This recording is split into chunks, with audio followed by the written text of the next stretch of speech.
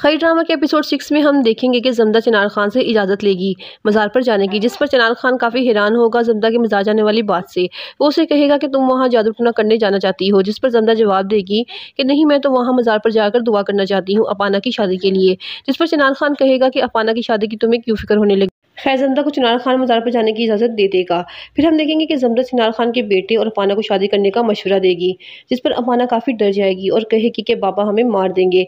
लेकिन जमदा उसे मुतमिन करते हुए कहेगी कि, अगर तुम शादी कर लोगी तो कोई कुछ नहीं कर सकेगा और तुम लोग सेफ़ भी हो जाओगे। दरअसल जमदा चिनार खान से बदला लेने के लिए सब कर रही है, लेकिन वो इतनी सफ़ाई से ये सब करेगी कि सब लोगों को यही लगेगा कि उसकी नीयत बिल्कुल साफ़ है, लेकिन ऐसा नहीं होगा। फिर हम देखेंगे कि दरबार पर जमदा की मुलाकात बादल से भी हो जाएगी। जैसा कि आप जानते हैं कि जमदा की शादी पहले बादल से होने जा रही थी, लेकिन क्योंकि चनार खान ने जमदा को पसंद कर लिया था, इसलिए जमदा की शादी चनार खान से ज़बरदस्ती हो जाती है। क्योंकि चनार खान अपने बाप के साथ मिलकर जमदा के घर के सारे मर्दों को मार दिया था। अब ये बात जमदा के जहन में थी और वो नफरत की आग में जल रही है। अब बादल से भी वो यही बात कहेगी कि नफरत भी अब बिल्कुल मोहब्बत की तरह होती है और वो नफरत के रास्ते पर निकल आई है।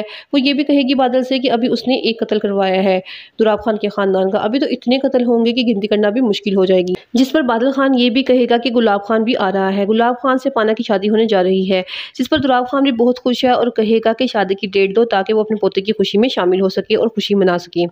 फिर हम देखेंगे कि बरलास पाना को लेकर भागने की कोशिश करेगा, जहाँ पर चनार खान का बहुत ही वफादार मुलाजिम बरलास पर फायर कर देगा।